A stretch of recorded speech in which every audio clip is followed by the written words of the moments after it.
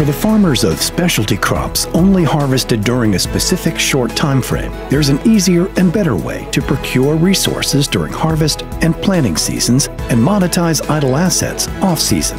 This is HarvestPort, a shared economy platform that allows agribusinesses to seamlessly share counter-seasonally utilized equipment. Through HarvestPort, you can browse and procure equipment for rent, list equipment for rent, share a listing with friends or potential farmers in need, communicate and negotiate with a counterparty, pay and process payments, insurance, and freight in a single transaction.